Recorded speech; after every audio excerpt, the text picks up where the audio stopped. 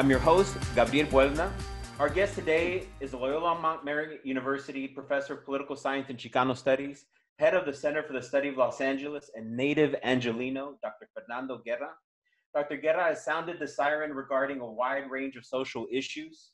So it comes as no surprise that Dr. Guerra and the center have a new study regarding attitudes and trends within the Los Angeles region regarding the COVID 19 pandemic. Dr. Guerra is with us today to discuss the study and the political importance of the government and media continue to handle the coronavirus outbreak and the consequences for the 2020 presidential election. Welcome, Dr. Guerra. Uh, thanks for having me, Gabriel. Thank you very much. So before we begin, I received an email because we've received emails and those out there, you can email at gabriel at wellnessstrategies.com. I received an email from a student at East Los Angeles College. The, the email reads in part, also in, in giving advice about episodes, another episode could focus on people like me, students who are visual performing arts majors who have had their lives completely destroyed. It goes on. Their work out on hold indefinitely because of social distancing? What is the Board of Trustees going to do financially to bolster um, uh, students here at East Los Angeles College? So I wanted to start with that, um, Dr. Guerra, because um, can you tell us a bit about the background of, um, of the study, how many participants, how many uh, who funded it? Just give us some background of how, how long did it take? Uh, did it go faster because of the coronavirus? Give us some feedback and about yourself yeah. as well. Yeah. So when I think about the Center for the Study of Los Angeles, what we try to do is research that is very relevant and can be immediately used by policymakers, uh, nonprofit, community groups, uh, academics, and students. And we try to design research that students can be involved in. Now, of course, in this time period, that's very difficult.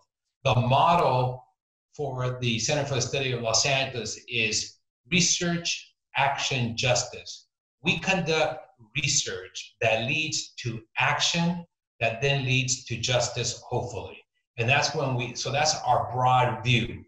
Obviously, when this uh, virus hit uh, the um, not only Los Angeles but the whole country, the whole world, this pandemic, we uh, what do we do at the Center for the Study of Los Angeles? We conduct research. What would be important uh, is to understand how Angelinos are feeling, what they're willing to do or not to do, so that when the city and the county together start making public policy, that it could be helpful and contextualize their decisions. And that was our idea. But frankly, the idea came from Mayor Garcetti himself. On uh, March uh, 22nd, he gave me a call and he said, Fernando, I need to know what people are thinking. Um, I know things that are happening from the data that we give scientifically, but how are people feeling about this? What are they willing to do? How do they see this virus? How do they see what the locals, meaning the mayor and the county board of supervisors, can do? And what are the residents willing to uh, follow? What are they willing to do? And so, with that directive, uh, we, began, we began designing this research project. Now, I'll tell you that from the idea of doing a research project to its final completion usually takes us about six months.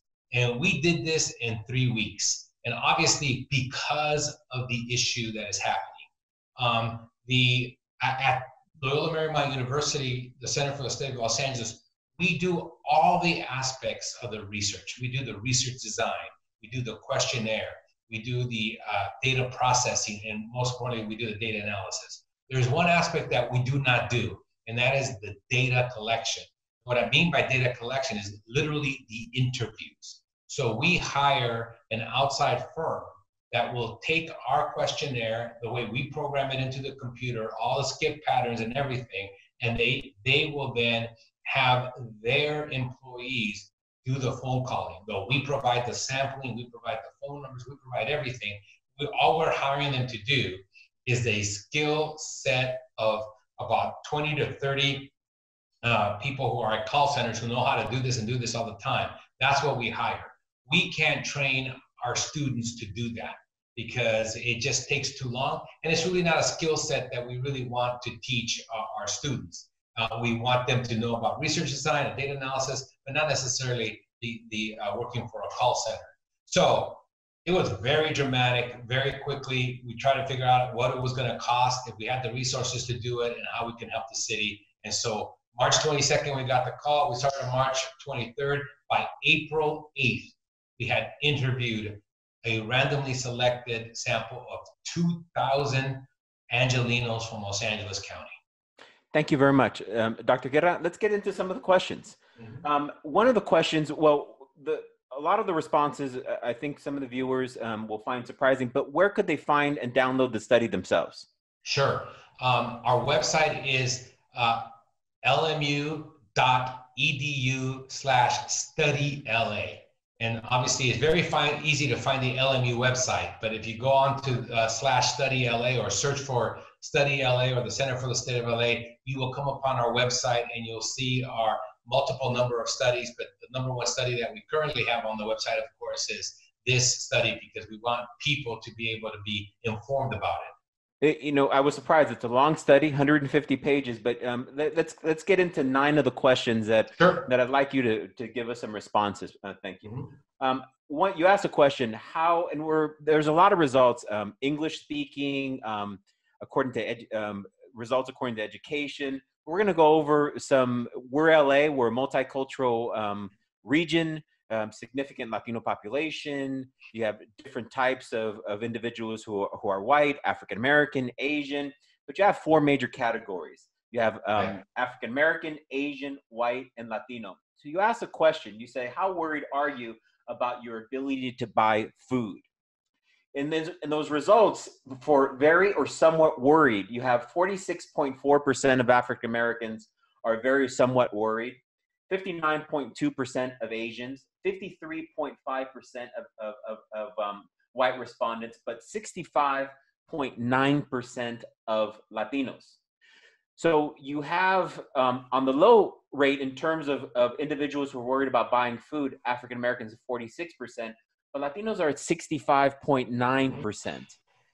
Can you tell me why? What's the difference? Why are we seeing um, Latinos so worried and not that African Americans are not, because 46.4% yeah. and, and Asians 59.2%. But why the difference? Yeah, I think uh, it's a you you've captured something very important uh, about the results that we have, and, and, those results really center on while the majority of Angelinos and the majority of uh, Angelinos in terms of demographic groups, you know, Latino, Asian, African American, white, or income groups, or you know, um, uh, uh, marital status or whatever, no matter how we cut it, the vast majority of Angelinos are worried uh, about all kinds of aspects of this, including their food insecurities. But one of the things that we found is the um, how much less African Americans are worried. In a sense, a, an, an idea that African Americans are not as concerned or don't feel that the virus was going to impact them to the same degree that Latinos, Asians, and whites uh, uh, felt about it. And I think we've seen the results in that in terms of the these uh, studies that we've seen about the disproportionate impact. And it goes to everything, including food insecurities. Uh, obviously, we can explain, contextualize why Latinos uh, have a high insecurity. Uh, they live, you know, sometimes paycheck to paycheck. Uh, there's a greater tendency amongst uh, Latino communities to go to the markets more often. It's not unusual for quote unquote a uh, typical Anglo Angelino to go to the market, you know, every two weeks, or um, and whereas Latino families they tend to go uh, every three or four days, uh, mostly because of their habits of wanting more fresh food, uh, maybe not having enough money to buy for two weeks, but they have to buy it as they get individual money. So this creates an insecurity because they know they have to constantly be going to the market. Right. So let, us go on to another question about paying bills. It goes mm-hmm. to, to, your point. Yeah. How worried are you about the ability of paying bills? Very somewhat worried. African American 48, Asian Americans 52.8, whites 50.9, Latinos 68.9. Yeah.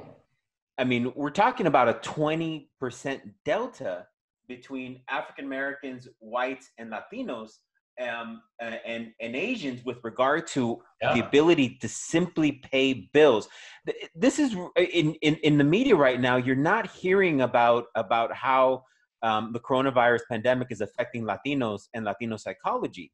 But so what what is what is what is your study telling us about latino psychology about about coronavirus? Yeah so clearly again you see this pattern where latinos are the most concerned. They feel insecure. They know their own situation.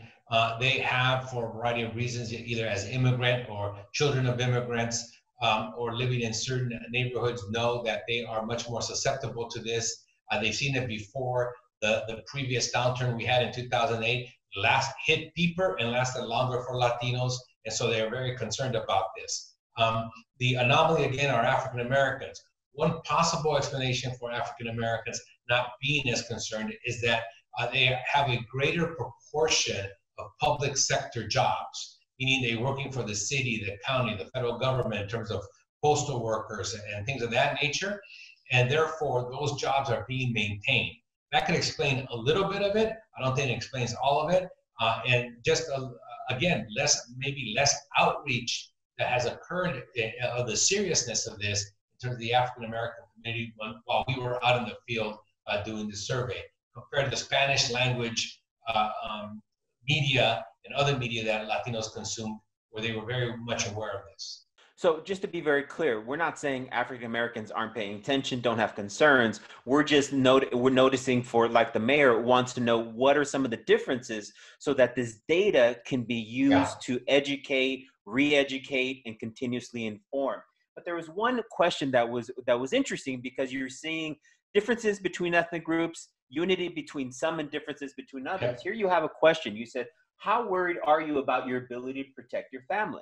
In that response, very somewhat worried. 57.8% of African Americans said, How worried are you about protecting your family? 68.8% of Asian Americans, 63.1% of whites, and 75% of Latinos are worried about protecting their family. So yeah. you see Asian Americans and Latinos hyper aware mm-hmm. of, of, the, of their ability to protect their families. So you see some differences or coming together of some ethnic groups yeah. and others. So whites and African Americans are less, again, still the majority correct concerned, but yeah. a super and hyper majority of Asian and Latinos. Yeah.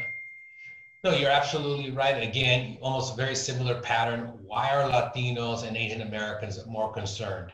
Um, part of the reason here could be partly immigration status. Not that uh, Latinos and Asians are all undocumented, which is not the case. But when you talk about extended families, they may have uh, cousins or family that have that status or recent status that they know how vulnerable they are. We've seen even uh, attacks upon permanent residents, and so they're concerned about that. You've seen the attacks on Asian Americans, blaming them for the virus, having President uh, Trump continue to call it the Chinese virus, the Wuhan virus, uh, and that leading to uh, discrimination against Asian Americans. So not only when you talk about protecting your family, are you talking about protecting against the virus, but you're also talking about protecting against, you know, um, these uh, hate crimes or regular crimes or even the economic impact. All those, I think, are much more relevant to Asian Americans and Latinos. So you're saying that the the the the effect of, of racist speech by President uh, or uh, Trump and others it could potentially have affected that question.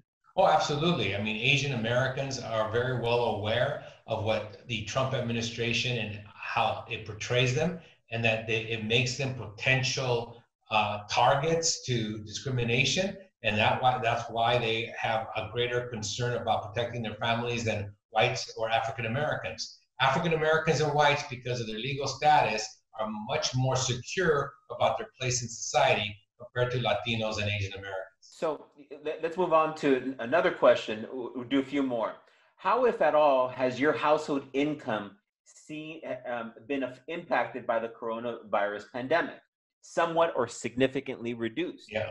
African Americans, 43.7%, Asian Americans 53.4, whites 53.4, but Latinos again 65%. Yeah. So you're in a region that is majority Latino.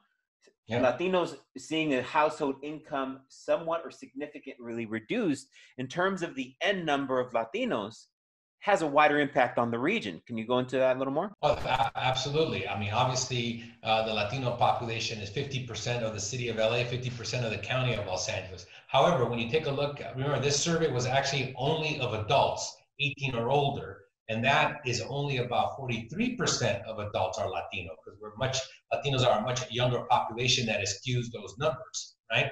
And so 43% of adults in Los Angeles County are Latino, and they have a very high insecurity about their income. Again, because they are more recent employees given their youth, they are in more marginal jobs, they are living paycheck to paycheck, very concerned about this to a much greater degree than, than other groups. The anomaly again are African Americans. Why aren't African Americans as concerned as white, Asians, or uh, uh, Latinos? And it could be uh, this is a hypothesis of mine that they have to a much greater degree public sector jobs as school teachers working for school districts, the college district, the MTA, city and county government, federal government, and those jobs are protected, and they basically know that. So that reduces that number of insecurities. Thank you very, very much. So let's let's move on to what's an interesting question about how much confidence do you have in the following individual to deal with the coronavirus pandemic? Donald Trump. So mm-hmm. African Americans, fair amount or um, or great deal of confidence, twenty four point eight percent. Asians, thirty seven point eight percent. Um, whites, forty seven point four percent, and Latinos, thirty five point five percent. So even though Latinos are being negatively affected in their perception by the coronavirus and pandemic, there seems to be a wider a wider confidence level in Donald Trump than African Americans, and whites almost fifty percent have yeah. confidence in Donald Trump. So this is not unusual. We have observed this not only in Los Angeles, not only in America, but throughout the world. Every time that there's a crisis, people rally around the flag, rally around leadership to create unity and allow for a unified message to help us get out of this. So there have there ours is not the only survey going around. There are multiple surveys that we track nationally and internationally, and we saw the um, uptick in approval and support of prime ministers and presidents throughout the world surge, and it surged tremendously. Um, the average uptick was around 25%, whether it was the Canadian prime minister or the uh, Italian prime minister or whoever it was around the world. The one who surged the least was Donald Trump. Okay, internationally, by far, he was in last place in terms of this popularity bump.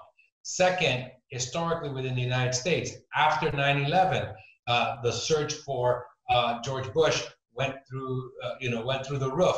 Uh, same thing with Ronald Reagan. Every time he did something that had to do with an international crisis, not unusual. However, Donald Trump's bump was much less than any president has historically received. So what do we see with Donald Trump? Three things. Number one, his bump was much less than any other national leader of a Western democracy. Number two, his bump was much less than any US president when historically facing a crisis. And then number three, we already have seen the waning of that support. It's declining nationally. Of course, we've only done one survey. If we were to do it again, I think that number would be even lower amongst all the groups. And so uh, while Donald Trump Donald Trump enjoyed a, a bump, it was, uh, you know, comparatively low, and it has de- already begun to decline. Thank you. So the last question related to your study is regard to the. It's interesting the equal amount of confidence in uh, in in generic county government. How much mm-hmm. confidence do you have in the following uh, um, institution to deal with the coronavirus pandemic? The health department, African Americans 87.8%, Asians 83%, whites 89.1%, and Latinos 84.8%. Again, Latinos on the, a little bit on the other side on that, but still you see an extremely high level of, of confidence in, in, in, in our health department. Right. Uh, not only, I mean, people are believing the experts here in Los Angeles, and to some extent is what uh, some of the people advising Trump have been trying to tell him is that people believe in, in Dr. Fauci or Dr. Birx, who are really leading this effort. Well, here in Los Angeles as well, when the LA County Office of Public Health speaks, people are listening. What's also interesting, you didn't talk about the numbers, but both Mayor Garcetti and Governor Newsom also received high marks in the upper 80s. And so you could see that um, people are trusting local government way more than the federal government. They are trusting local leadership, Garcetti, Newsom, over national uh, leadership. And so that the fact that Newsom and Garcetti went out and were one of the first to talk about the stay-at-home orders, we saw the reaction to that. Interestingly enough, another little tidbit, while we were doing the survey, in the middle of the survey, uh, Mayor Garcetti also talked about having to wear masks. And we saw the support for using masks increase tremendously right after that statement. So in a sense, it was real live uh, data showing that Angelinos want to have uh, truthful information and are willing to respond to government when it tells them the truth, even when it's bad news, even when it's onerous actions that they have to take. They have been following Eric Garcetti and Governor Newsom to everything that they do. The vast majority of our Angelenos are behind the mayor and the governor in terms of fighting this coronavirus. So, if you're here in Los Angeles and if you're watching this um, uh, nationwide, and hopefully you are, um, if you're the Los Angeles Community College District, if you're the Los Angeles Unified School District, if your government in these different and, and nonprofits, tell tell tell me how or tell them how they should use this data to mm-hmm. improve the situation for their citizens?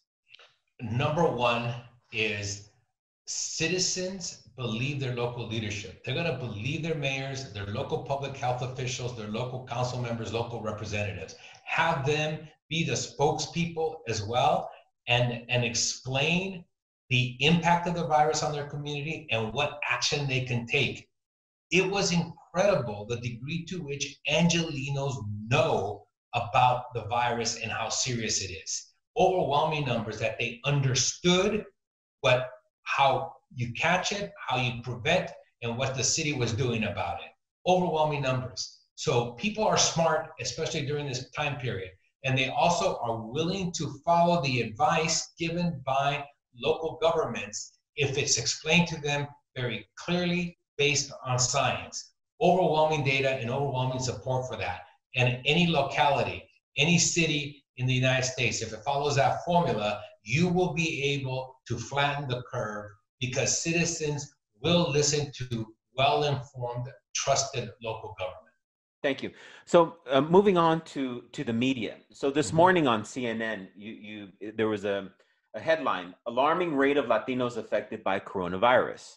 So, in mm-hmm. terms of um, Latinos and, and, and people of color in the United States, how is media covering the effect of coronavirus on Latinos and communities of color? Well, it's always secondary. It's always an uh, a- afterthought. It's always after they are bored with some of the other coverage. And so we've been into this for more over a month, and a lot of the coverage was just in general, obviously nursing homes and all that kind of made sense. They didn't start finding out and start talking about people of color until the results came out about the disproportionate impact on African Americans, which I think also led to other media outlets to say, oh, wait a minute, what about Latinos? Let's take a look at that and let's take a look at what's happening with them. When in fact, it is these vulnerable populations that are really at the base of the, the, the core of what could cause a spike or what could cause what we want, which is a flattening the curve.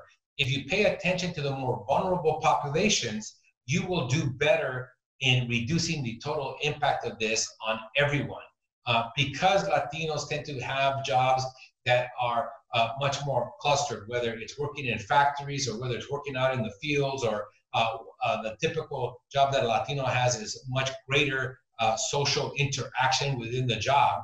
You needed to really protect those jobs, which meant protecting Latinos. And it's now that they're beginning to focus on this that they see it's not that Latinos and African Americans are genetically predisposed to this uh, virus, is that they are just more vulnerable in, in social and economic situations that allow the virus to flourish. But Dr. Guerra, what is it about Latinos in the country? Because, uh, you know, for those who aren't too familiar with the Latino population, you have different types of Latino groups around the country. You have yeah. in the Southwest, mostly uh, Mexican and, and, Central American. You have mostly Caribbean and South American in, in, in the Florida area, Puerto Ricans um, in, the, in, in, the New York area. And I'm being very simplistic here. But what yeah. is it about Latinos that the national media doesn't seem to get or want to cover. And even the talking heads on CNN, Fox, yeah. MSNBC, really, other than saying Latinos are affected by coronavirus, can't give an analysis the way that you're giving right now. I mean, a large part of it is that Latinos are just taken for granted. They're invisible. I think the greatest example is here we are in Los Angeles, the uh, uh, entertainment capital of the world, where movies are made, where producers live, etc and you take a look at the representation of Latinos in uh, film and television, and it's either non-existent or uh, very stereotypical. Yet you you would have to literally try to avoid Latinos in the city of Los Angeles, and it seems that this whole industry uh, does uh, uh, avoid them, take them for granted. And then people tell them, hey, if you want to grow your industry, you should uh, include Latinos. However, there's a very um, uh, uh, direct response to that from the movie industry in terms of the bottom line saying, what do you mean? Latinos come to the movies more than anybody else, disproportionately. We don't even show them. We don't have to do that. All we have to do is put out entertainment. Latinos don't care if they're present, represented or not. Now, I'm not agreeing with that, but the data that they have kind of shows that. In that disproportionately Latinos go to movies more than whites, blacks, or Asians, even though they're not represented. They continue to go. So there's no incentive for uh, for the media to pay attention to Latinos because we still keep watching. What's interesting about that is that I've seen is that in, in you know I'm happy for uh, Latin America's movie industry to be doing well, and you know everyone's watched Narcos and and all those episodes, but in terms of, of, of media representation of Mexican Americans and Latino Americans, Cuban Americans, Puerto Rican Americans, yeah. and here it seems as though Latin Americans have have more access to the U.S. media market and the media than those of us born here. Yeah, well, absolutely. Yeah, how many Mexican, not Mexican American, not Mexican raised, but Mexican uh, directors have won the Oscar in the last couple of years. Uh, they, have they've actually dominated, right? Uh, and you see how many actresses uh, come over, even in our own local Univision, Telemundo, etc. You, you see that the talent that's put before the camera is all uh, Latin American. And then behind the scenes, you do see some Mexican Americans, but it is just a, a, a, a constant, vicious cycle that continues to exclude not only the Latino face, but more importantly, the Latino voice, the, the Latino experience, which could be very educational in terms of what is happening in Los Angeles and in this country. So, and we're, we're going to move on to Latin America in a second. It's just interesting that the one place, if you're if you're Latino in the United States, where if you're an actor, you can get a, a good job, is in um, the Narco um, yeah. episodes that are coming yeah. up. But in terms of, of Mexico, you have this morning reports that uh, Nicaraguan president um, has not been seen, uh, uh, uh, Daniel Ortega has not been seen for a month. Um, and you have um, uh, Andres Manuel Obrador in Mexico seemingly still not really taking the coronavirus um, uh, pandemic seriously. And um, I'm not getting that Americans understand that while we while you know Europe and we care that the British Prime Minister you know had the coronavirus, um, we have 130 million people in Mexico. Latin America is here, physically important. Latin America mm-hmm. is important to us, yet media is really ignoring the potential disaster that might occur in Mexico with and, and tell, tell me about that situation. Well uh, again um, it's just taken for granted. Uh, mexico is actually our number one trading partner. Uh, uh mexico is our number one uh, uh, tourism partner. Both americans going to mexico and mexicans coming to the united states in terms of tourism. We are so linked with the economy and the culture of mexico and people just completely dismiss it. While certain sectors understand this the vast majority of Americans uh, don't. Uh, and as a matter of fact, want to undermine it and want to claim that part of our stagnation, part of the economic decline is based on the North American Free Trade Agreement.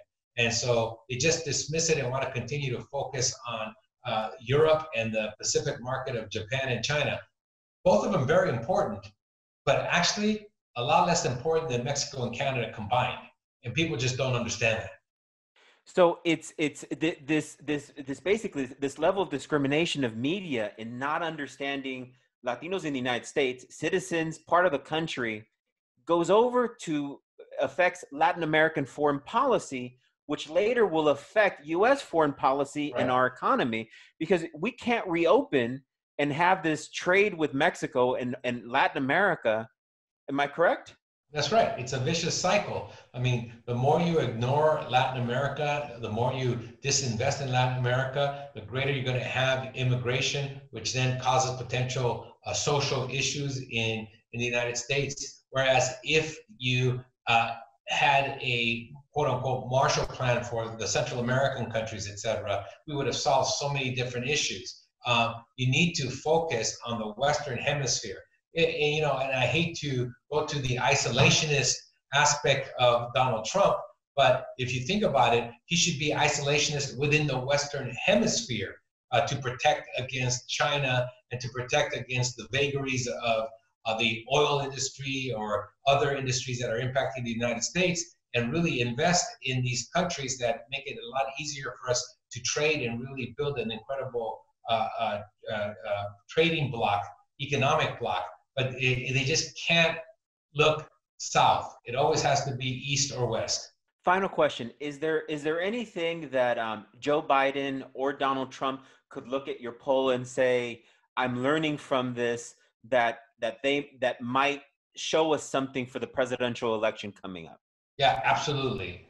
One of the main conclusions I draw from this survey is that while for the last couple of years trust in government has been declining, in this crisis, Angelenos turned to their local government, to their local leaders, and are trusting them again. If you, as a leader, don't take this trust and do the right thing, it will just create a, a situation where trust will be even more difficult to rebuild in the future. And I think Eric Garcetti is doing the right things with this trust, communicating effectively. Donald Trump is doing the wrong things with this trust. And that's why his numbers are dropping very quickly after this uh, bump he got trying to be supportive. People gave Donald Trump the benefit of the doubt and said, okay, you've been terrible, but we're going to now support you so that you can address this virus. And he's blown it. The opposite is true here for Eric Garcetti and Gavin Newsom. Dr. Guerra, is there anything else that you would like to, to share? Um, when you are a policymaker or just a typical resident of the city of Los Angeles or any place in the United States, um, you want to make decisions and you want to be data informed. And that's what we have provided is to give you data. Uh, but you shouldn't be data driven. You should be values driven only use data to the fact that it can help you uh, decide and create your options in terms of what are the values that you want to project and what is it the vision that you want to see. Never be data driven be data informed and hopefully this is what the center for the study of los angeles at loyola marymount university has provided with this study. Dr guerra professor of political science and chicano studies center for the study of los angeles lifelong angeleno Thank you for doing this study. Have a good rest of your day. Be safe with your family. Thank you very much. Thank you very much. Greatly appreciate it. Thanks for having me on.